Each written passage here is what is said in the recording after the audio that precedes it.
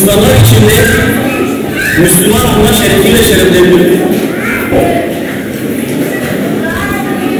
İnsanlar içinde Müslüman olma şerefiyle şereflendirdi.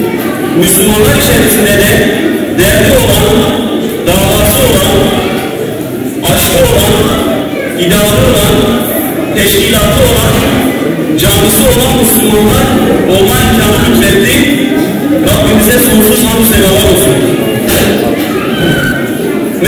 Cemiyeti olarak yaptığımız eğitim çalışmamızın esas amacı dinine, diline ve kültürüne sadık bir o kadar da içinde bulunduğu toplumun ve toplumun değer ve yargılarına saygılı nesiller yetiştirmektir. Almanya'da yaşayan Müslümanlar olarak Müslüman kimliğimizi korumak, kimliğimizle beraber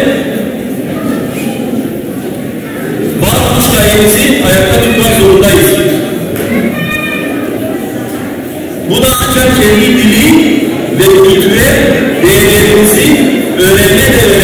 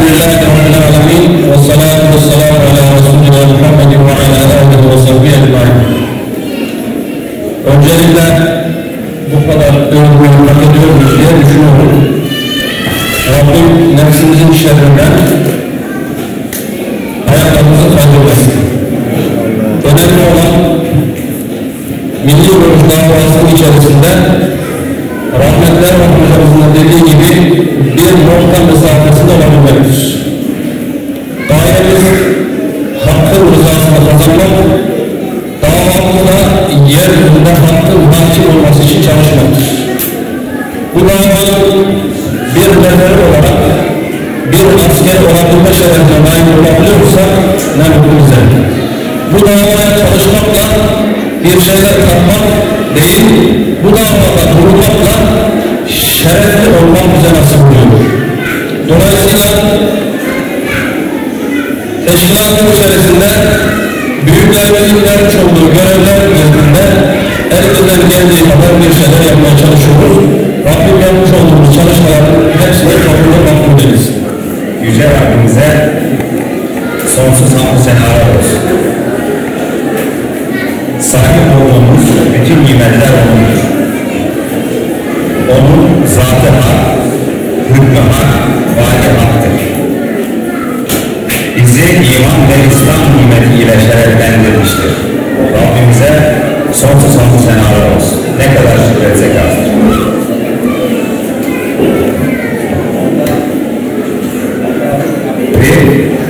Allah'ın Habibi, rahmet peygamberi Hz. Muhammed sallallahu aleyhi ve sellem Efendimiz'e salatu selam olsun. Resulullah Efendimiz'den aldıkları İslam ve iman emanetini bize kadar getiren bütün alimleri, alimleri, müminleri hürmet ve saygıyla ve rahmetle anıyoruz. Allah hepsinden razı olsun. Yaptıkları bu iyiliğin, bu büyük çalışmanın karşılığını Allah onları cennetinde ve cemaliyle şereflendirerek karşılıklarını versin. Hezim bölgemizde sınıfsal olarak ilk defa sistematik eğitime geçen Okumak Mevlana Camimizin pek muhterem ben Alparslan kardeşimin söylediğine katılıyorum. Emektar Başkanı Ahmet Doğan kardeşimin icrasını kardeşlerimi, cemaatimizi ve aramızda bulunan ilk başkanlarımızdan İsa Şenol abiye, Hasan Akdemir abiye ve emeği geçen tüm kardeşlerimi can gönülden selamlıyorum. Rabbim bu güzel çalışmayı şu aşamaya kadar getiren ve bunu artık bir gelenek haline getiren tüm kardeşlerimizden Rabbim razı olsun. Allah onlara da bunun karşılığını cennetiyle ve cemaliyle nasip etsin. Yani geçiyoruz ki artık önceden yaptığımız eğitim çalışmaları yetmiyor. Bunu kurumsal bazda, kurumsal aşamada cemiyetler olarak da e, kurumsal çalışmaya geçmek zorunda. Değerli kardeşlerim, değerli misafirler, bu organizede emeği geçen kardeşlerim, hiç ismini duymadığımız, haritada dahi tanımadığımız ülkelerden bir tanesi de Gine-Bissau. Bana Gine-Bissau'u söyledikleri zaman ilk işim hemen bilgisayara geçip Google'da o neresi olduğunu keşfetmek oldu. Ve baktım ki Avrupa, Afrika'nın batısında Atlantis, Atlantik Okyanusu'nun kenarında küçük yaklaşık iki buçuk milyon nüfuslu bir ülke. Yine Bissau, sonuçta duyulmamış bir ülke, bilinmemiş bir ülke. Bu ülkenin nüfusu 2 milyon, bu 2 milyonun, 2,5 milyon bu nüfusun %50'si Müslüman, %40'ı yerel diller, yani hamile dilleri ve %10'u da Hristiyan. Ağırlıkta Katolik kiliselere sahip. Yıllık milli gelirin 500 dolara geçmeyen bir ülke. Yani bir memur maaşına sadece 50 euro, 50 euro olduğu bir ülke.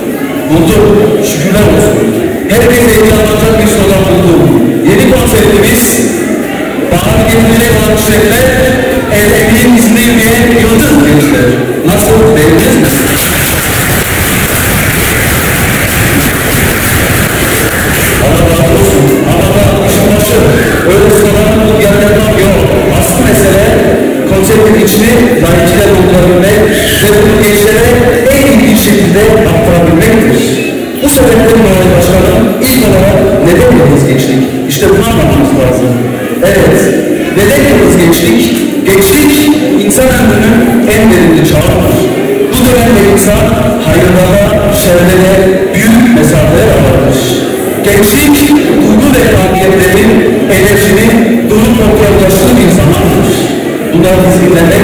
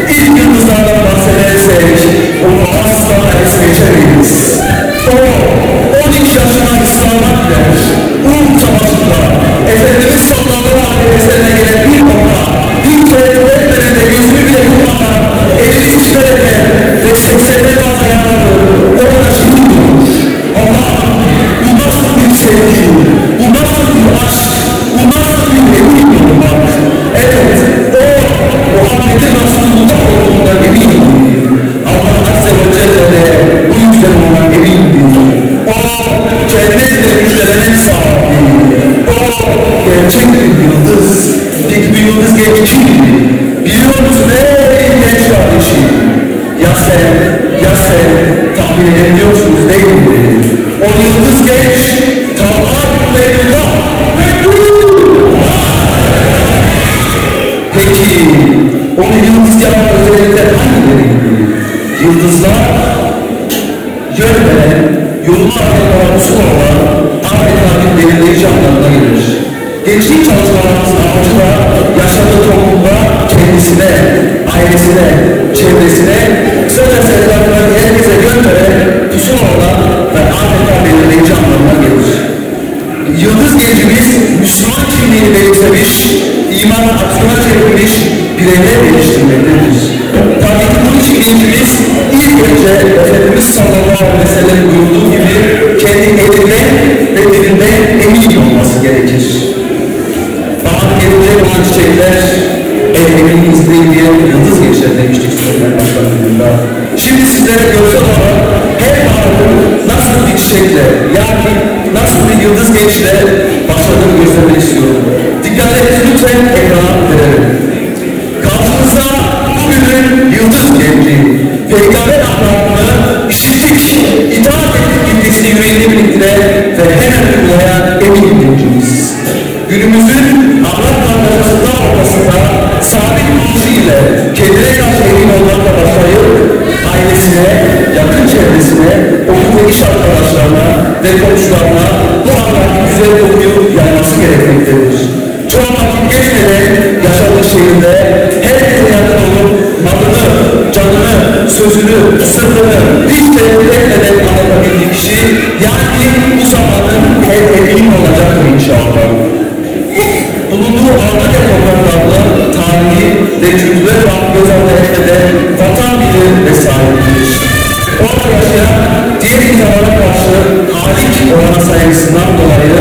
emin olur ve topluma faydalı olmak için var gücüyle çalışır. Bu davranışların asıl sebebi ise bulunduğumuz çağın sistemi insanlara aykırı olduğunu benimsemiş, Allah rızasını dahi etmiş, tüm insanlığı aydınlatacak bir yıldız olmaktır. Ey genç kardeşim, evet sen unutma, bir kişiye doğru deme, hepimizin bir etki